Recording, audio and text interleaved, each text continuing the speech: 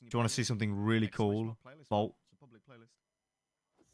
This is actually gameplay. All right, I have my own private Destiny 2, 2 server, and I have somehow, don't ask me how, I have mastered the ability to play with my feet.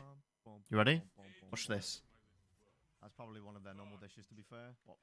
Back then, all they had was broccoli and cheese, so they thought, oh, now we've dis- discovered soup. Let's put the broccoli and cheese on it.